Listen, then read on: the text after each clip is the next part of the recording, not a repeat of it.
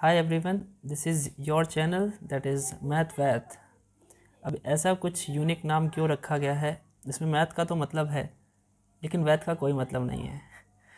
ऐसा क्यों रखा गया? है क्योंकि आप जानते होंगे कि हम लोग जो हिंदियंस हैं, हम लोग हर एक शब्द के साथ कुछ ना कुछ सफिक्स जोड़ देते हैं। जैसे चाय, शाय, इसमें चाय का तो मतलब है चाय का कोई मतलब नहीं है, कुर्सी वर्सी तो ये ऐसे शब्द हैं जो हम लोग इस्तेमाल कर लेते हैं but these do not have any meanings तो चलिए स्टार्ट करते हैं। आपको अपने चैनल के बारे में तो मैंने बता दिया, ठीक है? तो अभी हमारा चैनल किस चीज़ पे वर्क करेगा, वो हम बताने वाले हैं। सबसे पहले तो हम लोग अपनी हायर मैथमेटिक्स पढ़ने वाले हैं। हायर मैथमेटिक्स मतलब जो भी हमारे ग्रेजुएशन लेवल के एग्ज़ाम्स होते हैं या ग्रेजुएशंस के मैथमेटिक्स के लिए। और जैसा कि हम सभी को पता है कि न्यू एजुकेशन पॉलिसी में हमारे जो सिलेबस हैं, उन्होंने उसको पार्ट वाइज कर दिया। पहले ईयरली होता था।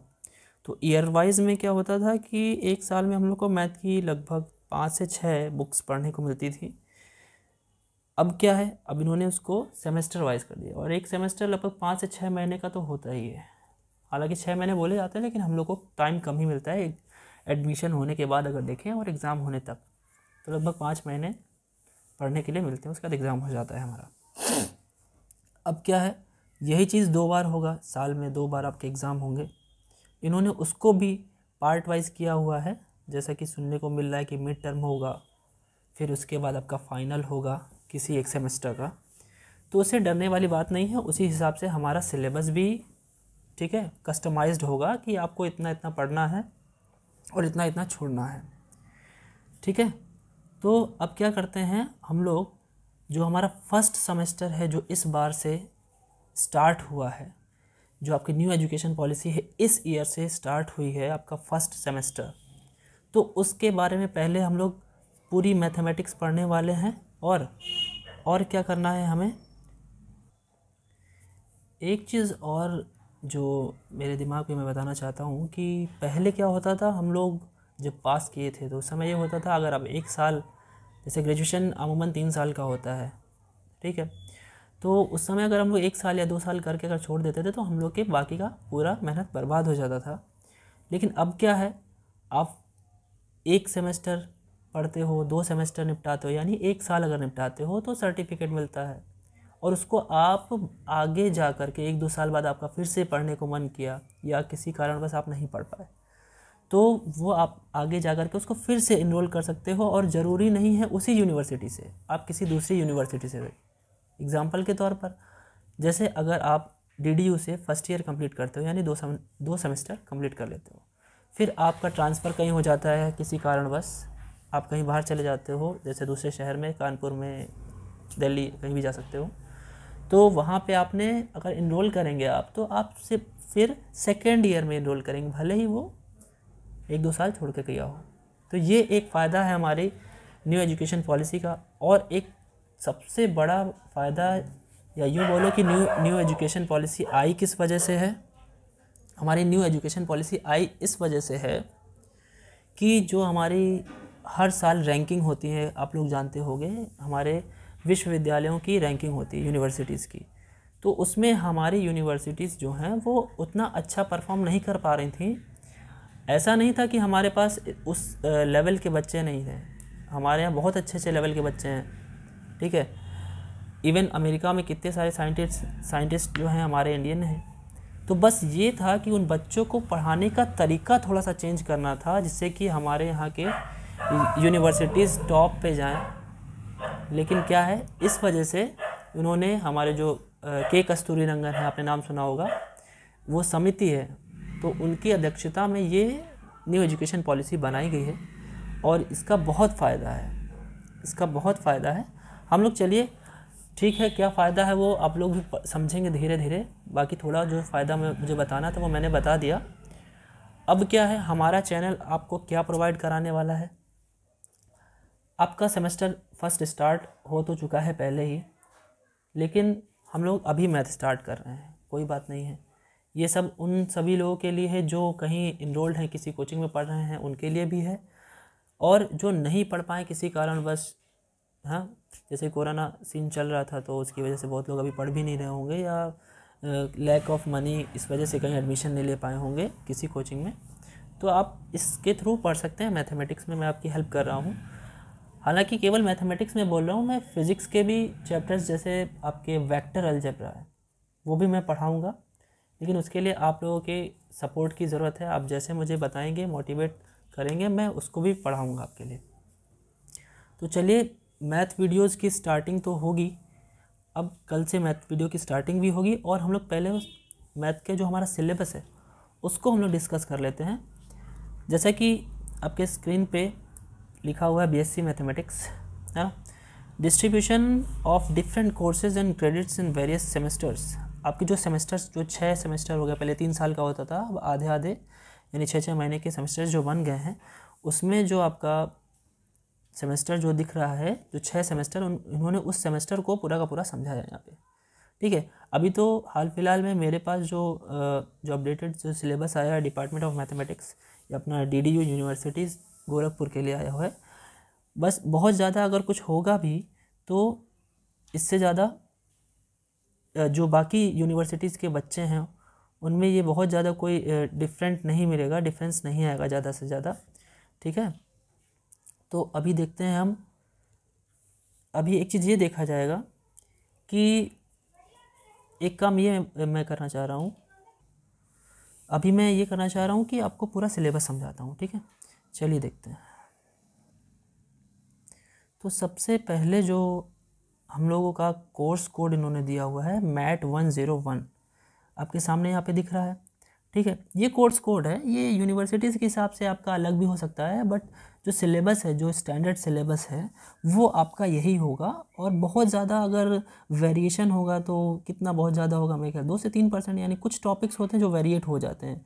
जैसे कि आप पहले ईयर के, जो इससे पहले जब न्यू एजुकेशन पॉलिसी नहीं आई थी तो आप देखते तो कानपुर का सिलेबस गोरखपुर के सिलेबस में मतलब कुछ एक आध बुक का अंतर इधर उधर हो जाता है। मतलब आप उसको सेकेंड ईयर में पढ़ोगे तो कानपुर वाले फ़र्स्ट ईयर में हो सकता है, पढ़ चुके थे। लेकिन न्यू एजुकेशन पॉलिसी में जहाँ तक पूरा का पूरा ये जो है कॉपी हुआ है हर यूनिवर्सिटीज़ में। मे भी मैं फिर भी मान के चल रहा हूँ, चार से पाँच परसेंट इधर उधर होगा तो कोई बड़ी बात नहीं है, वो कवर अप हो जाएगा। ठीक है तो सबसे पहला जो हमारा ये आपके सामने गोरखपुर यूनिवर्सिटीज़ का जो है यूनिवर्सिटी का मैट वन ज़ीरो वन। अच्छा ये जो पॉइंट लिखा है आपका बेसिक्स ऑफ़ मैथमेटिक्स ये क्या है? इसको समझते हैं? बेसिक्स ऑफ़ मैथमेटिक्स में ये बेसिक वही है बेसिक मतलब होता है आपका आधार जो आपको ग्रेजुएशन की मैथ तक पहुँचा सकता है। जैसे कि मतलब कहने का क्या है? क्लास एलेवेंथ और क्लास ट्वेल्थ का जो मैथ्स था आपका, ठीक है? उसमें भी वो पूरा मैथ्स नहीं, कुछ चैप्टर्स लाइक अभी हम लोग क्या उसके बारे में सुनते हैं? क्या है वो चैप्टर्स देखिए बेसिक्स ऑफ़ मैथमेटिक्स में जो हमारा पहला चैप्टर हम लोग पढ़ते थे, आपको याद होगा क्लास इलेवेंथ और क्लास इलेवेंथ और ट्वेल्थ में। इलेवेंथ का ये देखिए, क्या है पॉइंट सेट थ्योरी है, सबसे पहला पॉइंट ये देखिए सेट थ्योरी सेट थ्योरी में हम लोग सब पढ़ते थे, जैसे definition of sets representation of sets Hindi में मैं बताऊँ तो ये डेफिनेशन यानी समुच्चय का जो डेफिनेशन यानी परिभाषा होती थी। रिप्रेजेंटेशन ऑफ़ सेट्स किस तरीके से हम उसको शो करते थे, आपको याद होगा। कि दो तरीके से था हमारा। याद है आपको नाम? अगर नाम याद हो तो कमेंट में बताइएगा। मेरे कहते ही मैं बता दे रहा हूँ फ़िलहाल। सेट बिल्डर मेथड था, ठीक है? एक गुड़ विधि थी, ठीक है? सारणी विधि थी, बहुत सारे ऐसे नाम थे फ़िलहाल उसमें। हाथ हाल, थे तो दो ही प्रकार के। अब वही चीज़ हमको यहाँ पे इंग्लिश में पढ़ने को मिलेगा। तो यूपी बोर्ड वालों को तकलीफ़ होगी सीबीएसई और आईसीएसई वालों को तो दिक्कत नहीं होगी, लेकिन ऐसा कुछ नहीं है, आपका सोचना गलत है, ठीक है? यहाँ पे बस कीवर्ड्स होते हैं। मैथमेटिक्स में फ़िलहाल उतनी कोई भी थ्योरी होती नहीं है और जो भी हल्की फुल्की थ्योरी होती है, वो उतना क्लियर हो जाता है, ठीक है? हम लोग ऐसे ही बात बात में सीख जाते हैं तो उसमें कोई दिक्कत नहीं है। आपका उसके बाद क्या है? यूनिवर्सल सेट यानी समष्टि सार्वत्रिक भी बोलते थे एम्प्टी सेट यानी रिक्त समुच्चय बोलते थे। याद होगा आपको रिक्त समुच्चय, ठीक? तो इतना उसमें कोई डरने वाली बात नहीं है। सिंगलेटन एंड जो सेट है, रिक्त समुच्चय, ये सारे के सारे, हम लोगों ने सब पढ़े, डिमार्गल ना पढ़े हुए हैं, दो थे, याद होगा आपको। डिसजॉइंट सेट ठीक है विसंगीत समुच्चय पढ़ते थे। डिफरेंस अंतर सिमेट्रिक डिफरेंस याद होगा कुछ लोग ऐसे बनाते थे ए बी कुछ लोग ऐसे भी बनाते थे। तो वो सारी चीज़ें जो भी हैं हम लोग को, पूरी पढ़ने को मिलने वाली हैं यहाँ पे। और algebra of sets duality counting principle Venn diagram सबको याद हो वेन डायग्राम बहुत फ़ेमस हुआ करता था, है ना? तो अब क्या करना है, हमको वो सारी चीज़ें पढ़नी है यहाँ पे। और अगला देख लीजिए, उसी का ही, क्लास ट्वेल्थ का ही हमारा जो ऑर्डर्ड पेयर्स हैं, यहाँ पे देख लीजिए, सेकंड यूनिट जो आपको दिख रही है। सेकंड यूनिट की बात करें तो ये देखिए, ऑर्डर्ड पेयर्स। ऑर्डर्ड पेयर क्या है? भैया एक्स और वाई का मान जो हम लोग भुज और कोटी बोला करते थे, इंग्लिश में एप्सिसा और ऑर्डिनेट बोला जाता है। अब देखिए, यहाँ पे फ़ंक्शंस आ गए, जितने आप सब देखिए identity empty relation function range composition of function types of function कितने तरीके के फलन के प्रकार होते हैं वन वन मैनी वन क्या मतलब वन वन मतलब एक है कि मैनी वन मतलब बहु एक है कि वन टू मतलब आच्छादक इन टू मतलब अंतरक्षेपी, ऐसे हैं सारे के सारे, ठीक है? इसके बाद इन्वर्टिबल इन्वर्टिबल मतलब होता है व्युतक्रम, यानी व्युतक्रम जो हमारा वन वन वन टू यानी एक एक और जो हमारा आच्छादक हो जाता था, उन्हें हम व्युतक्रम बोलते थे, व्युतक्रम फ़ंक्शन इन्वर्टिबल फ़ंक्शन ठीक है? उसके बाद क्या है? ये देखिए, तीसरी यूनिट क्या है? डिफ्रेंशिएशन ऑफ़ फ़ंक्शन भाई, अवकलन जो सीखते थे हम लोग। इंटीग्रेशन सब वही चीज़ देखिए, अवकलन के यूज़ इंटीग्रेशन इंटीग्रेशन के यूज़ पार्शियल फ्रैक्शन यानी आंशिक भिन्न में तोड़ करके जो हम लोग अवकलन करते थे सॉरी समाकलन करते थे। डेफिनेट इंटीग्रल प्रॉपर्टीज़ उसकी एरिया अंडर द कर्व जैसे बोलते थे मतलब कि जो एरिया निकालते थे हम लोग किसी ग्राफ के बीच का। आपको याद होगा फॉर्मूला होता था, ऐसे करके हम लोग एक पट्टी बनाते थे, सिखाते थे आप लोगों को। ठीक है? लोअर लिमिट लिखते थे, अपर लिखते थे। तो ये सारी चीज़ें जो हम लोग ने वहाँ पढ़ी थी, उसी का इंग्लिश वर्जन हम लोग को पढ़ना है। तो कोई बात नहीं है। तो यहाँ पे हम लोग फिर से सारी चीज़ें पढ़ेंगे। देखिए, चौथा चौथी जो इसकी यूनिट है, बस ये सब चीज़ें हैं। अभी मैं ये थोड़ा थोड़ा आपको बताते चलूँ, जिससे आपको लगे कि आपने सब कुछ पढ़ा हुआ है, बस रिविज़न करना है। ठीक है? लेकिन एक चीज़ ध्यान दीजिएगा, जो इसमें आप देख रहे हैं, इसमें आपको देखना बहुत ज़रूरी है, क्योंकि सारा नहीं पढ़ना है। सारा नहीं पढ़ना है, मैं बोल रहा हूँ। आपको ये लगे कि आपने देख लिया और आप सब पढ़ लो। नहीं तो आप पहले इसको देखिएगा और जो भी वीडियोस मैं डालूँगा, सिर्फ़ इससे, इसी से रिलेटेड डालूँगा, जो आपके एग्ज़ाम में आएगा। पूरा नहीं पढ़ना है, ठीक है? अगर पूरा पूरा पढ़ रहे हो तो पहली बात तो यही समझ लीजिए, आपके पास ज़्यादा टाइम नहीं है। एक से डेढ़ महीना, उससे ज़्यादा टाइम नहीं है आपके पास। है कि नहीं? बहुत ज़्यादा डेढ़ महीना तो मैंने ज़्यादा बोल दिया एक से एक महीना और पाँच दिन दस दिन होगा। तो आपको वो नहीं पढ़ना है बस आँख बंद करके जो जो आपको पढ़ाया जाएगा इस चैनल पे आपको बस पढ़ते जाना है। आपके जो कमेंट्स होंगे सब के सब आप डालेंगे इसमें जो भी क्वेश्चंस होंगे आप उसमें डालेंगे। ठीक है और टेलीग्राम चैनल का तो लिंक मैं दे ही रहा हूँ। उसमें भी आप अपने आ, क्या कहते हैं उससे पहले तो सब्सक्राइब कर लीजिएगा। ठीक है और सुनते हैं इसके बारे में। तो ये जो आपके फोर यूनिट्स थे, इसमें देखिए कुछ चीज़ें नहीं हैं। वो मैं बताता चलूँगा, जैसे वीडियो आएगी हमारी। अब आते हैं आपके, जो आपका बेसिक फ़र्स्ट सेमेस्टर का सिलेबस है बेसिक तो ठीक है, वो भी होगा आपका। हाँ ये एक चीज़ और ध्यान रखना है, आपको बेसिक जो होगा, जहाँ तक मुझे सुनने को मिल रहा है, वो ऑब्जेक्टिव टाइप होगा, ठीक है? ऑब्जेक्टिव होगा सब्जेक्टिव नहीं होगा तो इसका मतलब है ऑब्जेक्टिव में एक फ़ायदा भी है और नुकसान भी है। अभी तक क्या होता था, सब लोग सब्जेक्टिव होता था तो क्या सोचते थे, चलो, लिख के आ जाएँगे, थोड़ा बहुत बीच में अपने भी वर्ड्स ऐड कर देंगे। तो कुछ मार्क्स मिल जाता था वर्ड काउंट हो जाते थे। लेकिन ऑब्जेक्टिव में क्या होता है, आपका करेक्ट ऑप्शन होगा करेक्ट ऑप्शन के अलावा एक, दो, तीन ऑप्शन गलत होंगे, ठीक है? तो प्रोबेबिलिटी होगी, प्रायिकता होगी कि आपकी गलत होने की प्रायिकता देखिए ज़्यादा है है ना? तो सही करना है आपको यानी। अब जब सही करना है तो उसके लिए आपको डीप नॉलेज होनी चाहिए। ठीक है? तो डीप नॉलेज के लिए क्या करेंगे? डीप नॉलेज के लिए एक एक चीज़ अपना ध्यान से हम लोग पढ़ेंगे। अब आते हैं इस पर अपने जो पहला हमारा पेपर होने वाला है, जिसका नाम आपके सामने बहुत ही अच्छा नाम है और इतना इंपॉर्टेंट ये बुक होने वाली है कि आप इसके बाद बहुत सारे एग्ज़ाम देंगे like I I T JAM देंगे या फिर और भी है आपके के वी एस एग्ज़ाम है, उसमें भी दे देता है। और क्या बोलते हैं बी एच यू के लिए भी एंट्रेंस के लिए आप इस्तेमाल कर सकते हैं। बहुत लोग एन डी ए की तैयारी करते हैं, कुछ पॉइंट यहाँ से भी मिलता है आपका। बी ए मैथ में भी ये कारगर होगा, जो आपके भी फ्रेंड्स उनको भी आप शेयर करिएगा। उसके बाद T G T P G T समय जो इतना फ़ेमस चल रहा है, वो उसके सामने कुछ भी नहीं है, ये सिलेबस इतना अच्छा है, आपको पढ़ना है।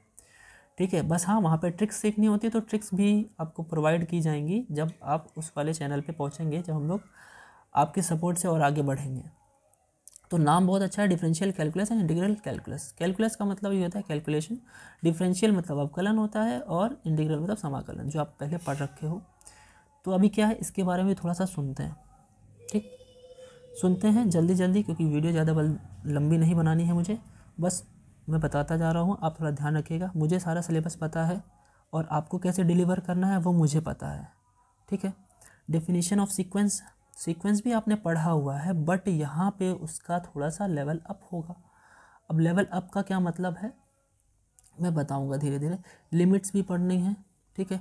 बाउंडेड और मोनोटेनिक मतलब ये सारी चीज़ें वो हैं जो सेट किसी सेट पे डिफ़ाइन होती हैं, समुच्चय पे डिफ़ाइन होती हैं।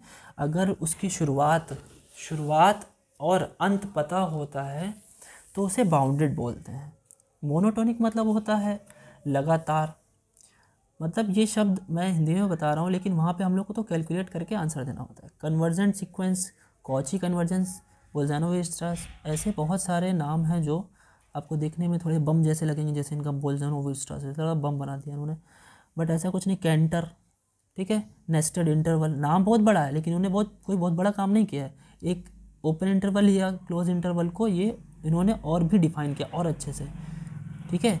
नाम तो ऐसा ख़तरनाक लग रहा है लेकिन ये चीज़ समझने में कोई उतना बत, बहुत ज़्यादा दिक्कत नहीं होने वाली। अच्छा ठीक है। अब इसमें आते हैं लिमिट कॉन्टीन्यूटी आपने लिमिट इलेवंथ में पढ़ा है कॉन्टीन्यूटी भी पढ़ी है डिफ्रेंसिबिलिटी भी पढ़ी है। तो उसी का लेकिन इंग्लिश वर्जन है यहाँ पे थोड़ा सा टफ और होगा उससे। कॉची डिफिनीशन हीन्स डेफिनेशन उसी चीज़ में। उसके बाद क्या है आपका? इंटरमीडिएट वैल्यू थ्योरम्स ठीक है? Extreme value theorem Darboux intermediate theorem और आपका चेन रूल चेन रूल आपने पढ़ा हुआ है। वैसे ये दो थोड़े से नए नाम हैं आपका extreme value Darboux chain rule आपने पढ़ा हुआ है, इसको आपने उस नाम से पढ़ा था, श्रृंखला नियम के नाम से। है ना? कोई बात नहीं है। उसके बाद जो है, आप अगर देखें तो आपके सामने जो बहुत फ़ेमस टॉपिक है, जहाँ से मैं शुरुआत भी करने वाला हूँ, आपका है Rolle's theorem Lagrange's mean value theorem mean value theorems higher order derivatives अच्छा ठीक है, टेलर्स थ्योरम अब ये टेलर वो नहीं है, दर्जी नहीं है, इनका नाम था टेलर। ठीक है? हाँ तो मज़ाक ठीक है, आपका अभी बहुत सारे नाम हैं, अभी आपको सुनने को मिलेंगे, आपको हँसी आएगी बट वो ऐसे उनका नाम ही था। मैक्लोरेंस लिबनिस थ्योरम, मैक्लोरेंस थ्योरम, ये थी। ठीक है? अब ये आया आपका उसके बाद डिफ्रेंशिएशन में भी देखिए, आपने डिफ्रेंशिएशन यानी अवकलन सीखा बट यहाँ पे पार्शियल है। वहाँ पे किसी एक के सापेक्ष, आप लिखते थे एक्स के सापेक्ष वाई के सापेक्ष जेड के सापेक्ष, यहाँ पे क्या होगा? यहाँ पे एक्स वाई जेड तीनों होंगे, किसी एक के सापेक्ष करेंगे, बाकी दोनों को रोक के रखना होगा। This is called what the partial differentiation तो ये चीज़ है। उसके बाद क्या है? एलर्स थ्योरम होमोजीनियस फ़ंक्शन के लिए जैकोबियंस क्या है?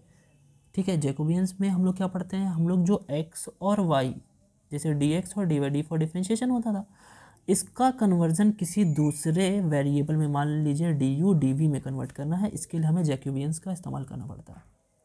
उसके बाद आते हैं क्या? एसिमटोट, इसको हिंदी में बोलते हैं अनंत स्पर्शी। आपको पढ़ाया नहीं जाता था, पहले के सिलेबस में होता था।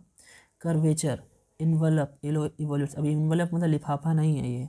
उसी के जैसा वैल्यू रखने वाला है, लेकिन कुछ अलग है।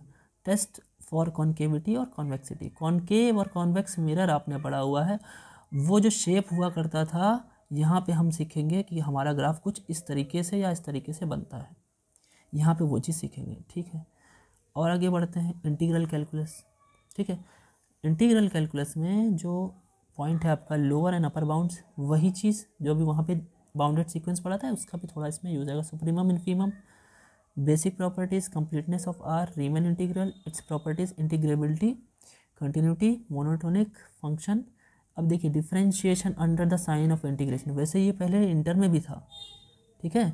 ये वाला पॉइंट ये वाला आपका differentiation under the sign of integration ठीक। तो लेकिन अब यहाँ पे क्या है? हम लोग को सीखना पड़ेगा। सिग्मा साइन के का इस्तेमाल करके हम लोग को इंटीग्रेशन करना होता है। अब इसमें हम लोग सीखेंगे।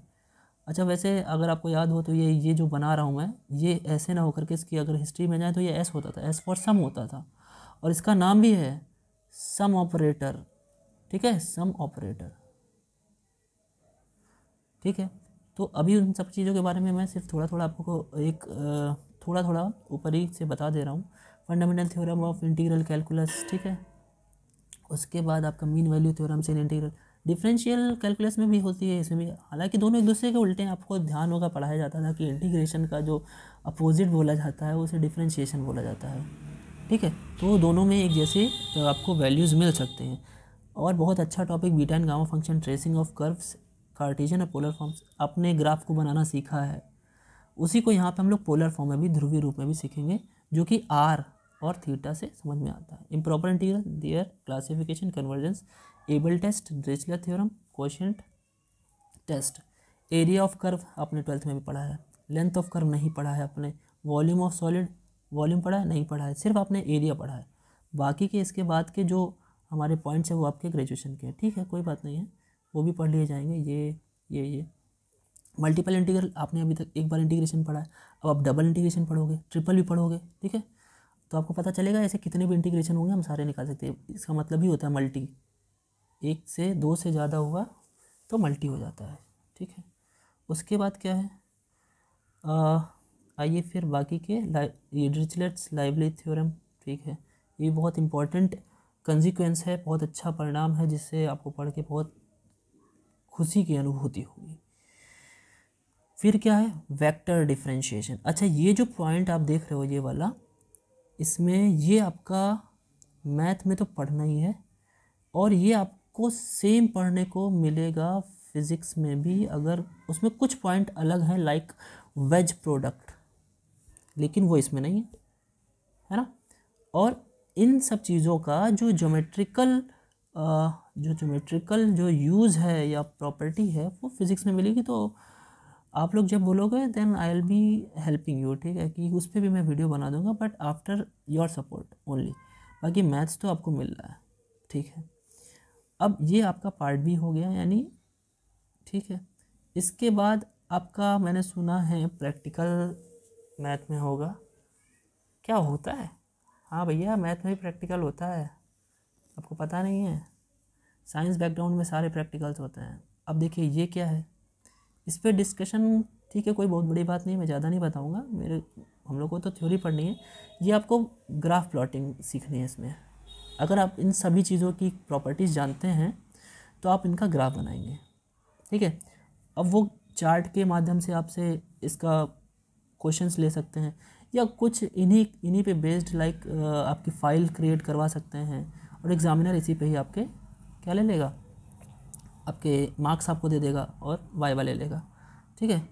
तो ये फ़िलहाल इतने हैं आपका एडिशन सब्ट्रैक्शन यहीं तक का आपका है। ठीक है? बाकी अगला जो सिलेबस है, जो आप सेकेंड सेमेस्टर का, वो आपको सेकेंड सेमेस्टर में जब आप जाएँगे तो मैं डिस्कस करूँगा।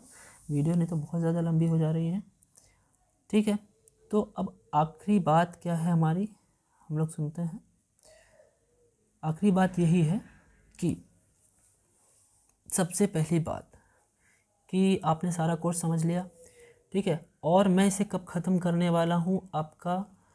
पहले तो मैं रोज़ डेली डेली एक वीडियो जो रहेगी हमारी बेसिक मैथ्स की, ठीक है? दूसरी वीडियो क्या रहेगी हमारी कोर्स की, कोर्स मतलब आपका बीएससी ठीक है? तो इस तरीके से क्या होगा? कोर्स कब कंप्लीट करना है मुझे? मुझे कोर्स कंप्लीट करना है आपके एग्ज़ाम से लगभग दस से पंद्रह दिन पहले।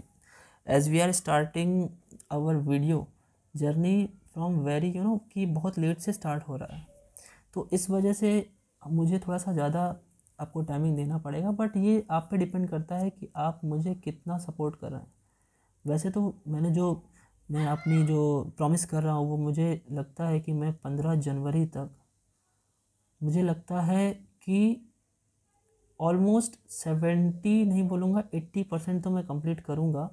और हाँ दोस्तों, एक चीज़ ये याद रखिएगा कि फ़र्स्ट सेमेस्टर में इतने ज़्यादा बच्चों ने अप्लाई किया, इतने ज़्यादा बच्चों ने एडमिशन लिया क्योंकि सब पास हो गए, है ना? तो जब सब पास हो गए तो इसका मतलब है फ़र्स्ट ईयर में फ़ेल बहुत लोग होंगे। फ़र्स्ट ईयर में फ़ेल बहुत लोग होंगे, लेकिन मैं जितना कराऊँगा, आपको उसमें से एग्ज़ाम में पूरा का पूरा मिलेगा। ठीक है? उसके लिए मेरे पास आपको पढ़ाने के लिए तीन तरीके की बुक है। मैं तीनों में से क्वेश्चन निकालूँगा और आपको तीनों में से पढ़ाऊँगा। ठीक है? तो इसके साथ एक चीज़ और क्या है?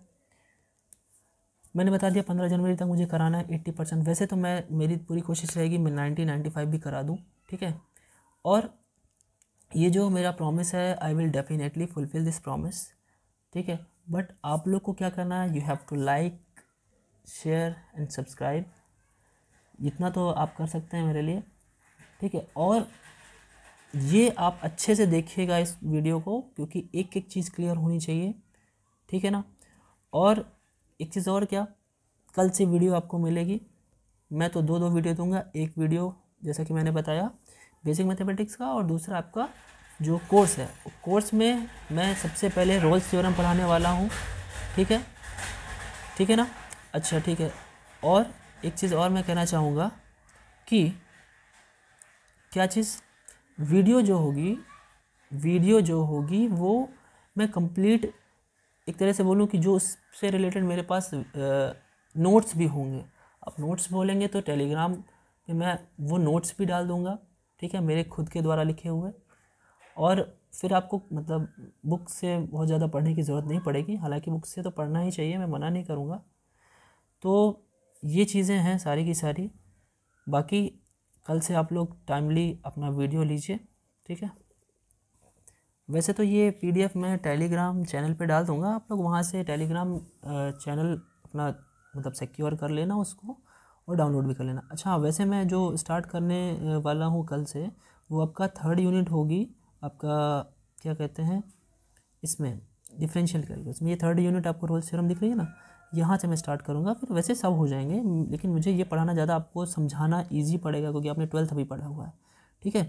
तो और क्या कीजिएगा, इस चैनल का जैसे ही मुझे, मैं लिंक डालूँगा अपने यू उस पर क्या कहते हैं टेलीग्राम पे तो आप वहाँ से उसको कैच कर लीजिएगा, ठीक है? और टाइमिंग मैं डाल दूँगा, और एक टाइमिंग पे हमेशा वीडियो पड़ेगी जिससे आप अपडेटेड हैं कि हाँ सर की वीडियो इतने टाइम पे आती है तो आप उस समय पे अपना उसे देखते रहिए। तो फिर आज के लिए इतना रखते हैं और आप जो हमारे डिस्क्रिप्शन अबाउट बॉक्स में भी आप देख लोगे, हमारा टेलीग्राम लिंक है, उसको भी आप उसमें जुड़ जाना, ठीक है? तो आज के लिए इतना ही। बाकी कल से मिलते हैं अपनी जर्नी को स्टार्ट करने के लिए। पंद्रह जनवरी से पहले मैं जैसा कि बोल रहा हूँ तो मैं करूँगा भी।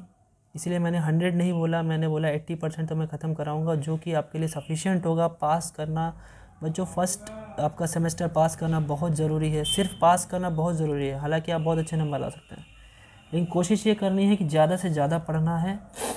And before giving an end to my speech की don't forget to like share subscribe and comment as well अगर आपको अच्छा लगे तो अच्छा कमेंट करें, आपको कुछ गड़बड़ लगे तो आप गड़बड़ कमेंट कर सकते हैं।